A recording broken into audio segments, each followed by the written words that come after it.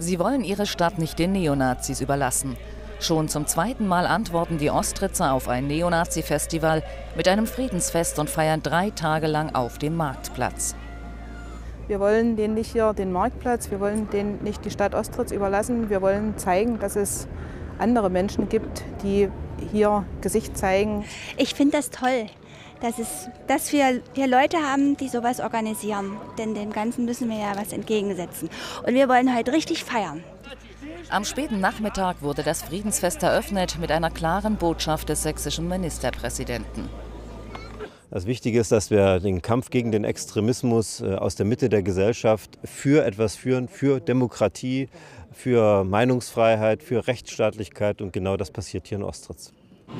Zur gleichen Zeit ein paar hundert Meter entfernt, das sogenannte Schild- und Schwertfestival auf dem Privatgelände eines hessischen Hotelbetreibers. Erwartet werden wieder bis zu 1000 Neonazis.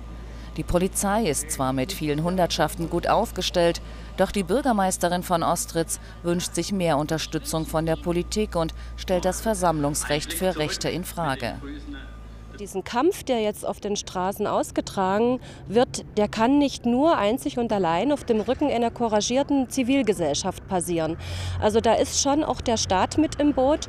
Und wenn wir nicht wollen, dass sich diese rechtsextremen Strukturen hier verwurzeln, dann muss man ein klares Nein sagen mit allen Konsequenzen. Derzeit scheint es, dass deutlich weniger Neonazis anreißen als beim letzten Mal. Vielleicht schon das ein kleiner Erfolg.